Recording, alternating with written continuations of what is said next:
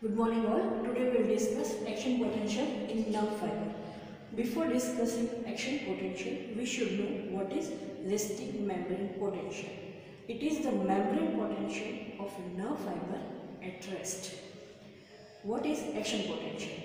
Action potential is the brief sequence of changes which occurs in any excitable tissue on application of a threshold stimulus. For the nerve fiber, the resting membrane potential is minus 70 millivolt. When we apply a stimulating electrode, it leads to certain changes in the membrane. Due to leakage of current from the stimulating electrode to the recording electrode, a deflection is recorded on the graph. This is known as stimulus artifact. Stimulus artifact is followed by an isoelectric period which is known as latent period. This is due to the travel of impulse along the nerve. The latent period is followed by a depolarization phase. What happens here is there is opening up of sodium channels.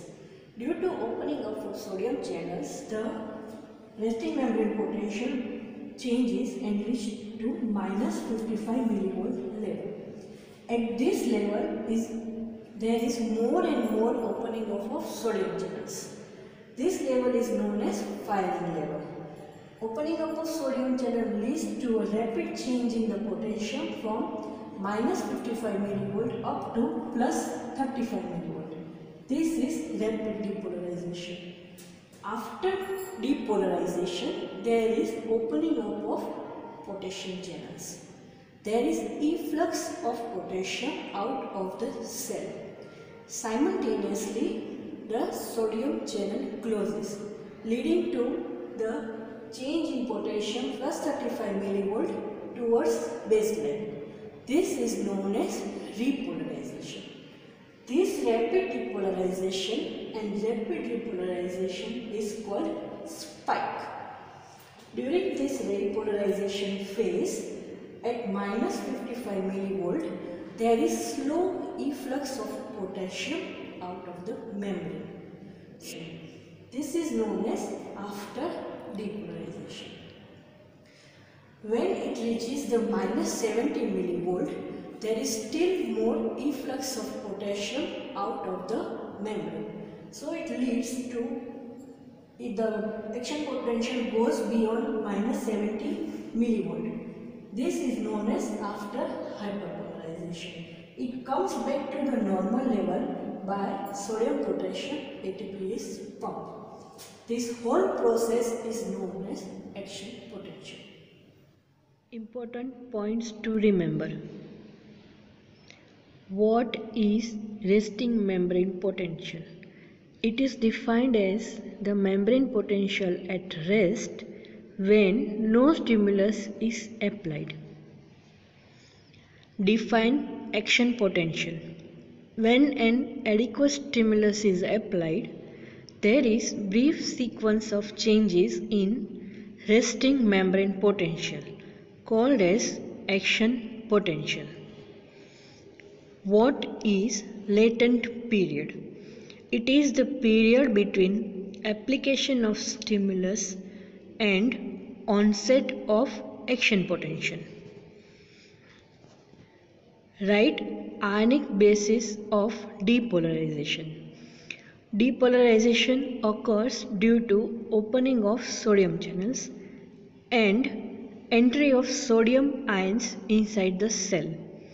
It causes positivity inside the cell, so membrane potential moves towards the positive side from resting membrane potential. Write ionic basis of repolarization. Repolarization occurs due to opening of potassium channels and efflux of potassium from the cell. It causes negativity inside the cell so membrane potential moves back towards the resting membrane potential. Write ionic basis of after hyperpolarization. after hyperpolarization occurs due to slow prolonged efflux of potassium from the cell. So membrane potential goes negative beyond the RMP. What is the effect of decrease in extracellular sodium concentration on action potential? Fall in extracellular sodium concentration decreases the size of action potential. What is the effect of increase in extracellular potassium on action potential? Rise in extracellular potassium concentration reduces the potential difference across the cell membrane. Thus, RMP becomes less negative. So, neurons become more excitable. What is the effect of decrease in extracellular potassium concentration on action potential? Fall in extracellular potassium concentration causes more potential difference across the cell membrane.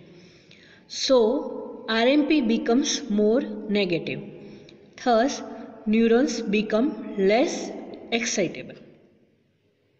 Thanks